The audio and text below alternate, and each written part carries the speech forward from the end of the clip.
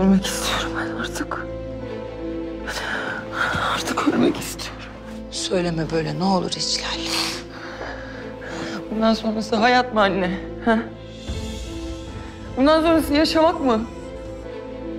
Benim o ölüm uykusunda bile rüyalarım vardı.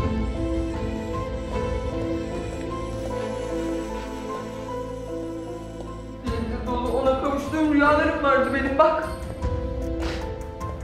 Bak şimdi elimde hiçbir şey kalmadı. Kaybettim ben anne.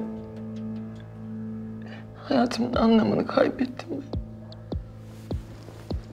Yiğit yoksa hayat yok ki benim için. Rüya yok, hayal yok, amaç yok, hiçbir şey yok ki bana Yiğit olmadan. Senin bir yavrun var. Mert'in var. Bir anneye yakışıyor mu böyle davranmak? Yakışıyor anne, yakışıyor. Bana bundan sonra her şeyin en kötüsü yakışır. Yiğit de yok.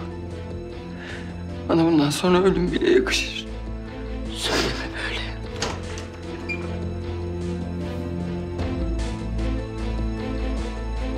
Teyze, bizi yalnız bırak. Yiğit.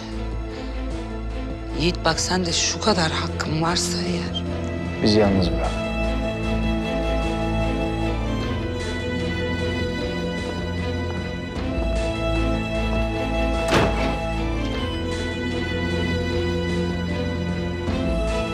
Yüzüme bak. Kaldır kafanı. Bak bana.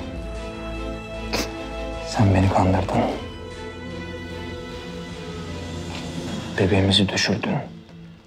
Beni, oğlumu kandırdın.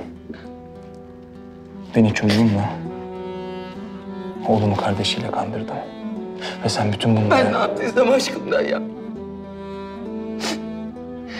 Seni kaybedersem öleceğimi bildiğim için yaptım. Yaşamak için yaptım ben. Çünkü ben sensiz yaşayamıyorum. Hayatta kalmak için yaptım. Ben ne yaptıysam yaşamak için yaptım Yiğit.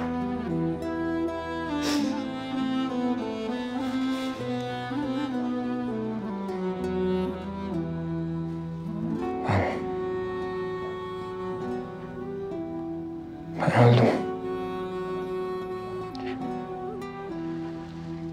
Ama sen yaşayacaksın. Bundan sonra oğlumuz için benimle birlikte yaşayacaksın. Evleniyoruz.